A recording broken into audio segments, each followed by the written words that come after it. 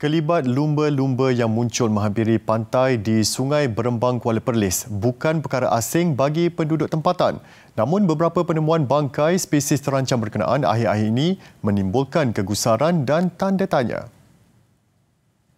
Pengerusi Persatuan Alam Sekitar dan Hidupan Liar Perlis PNW Syamil Abdul Rahman berkata, pihaknya dimaklumkan oleh nelayan berkenaan bangkai lumba-lumba Irawadi terdampar di kawasan Sungai Berembang. Difahamkan ini bangkai keempat yang direkodkan dalam tempoh 9 bulan. Haiwan itu dianggarkan berat sekitar 150 kg dan bersaiz 2.5 meter dan sampel diambil bagi tujuan ujian makmal.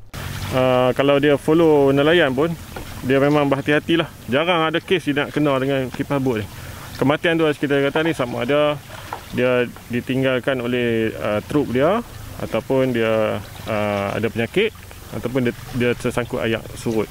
Sementara itu katanya peningkatan laporan mengenai penemuan lumba-lumba adalah hasil kesedaran nelayan dan orang ramai terhadap spesies itu. Penduduk juga sedar pencemaran sampah turut menjejaskan hidupan marin.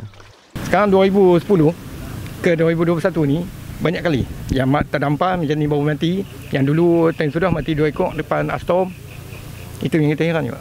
Pakcik pun kecewa juga lah sebab apa ni tinggal di sini ya. Patutnya tempat macam ni kita kena jaga lah kan.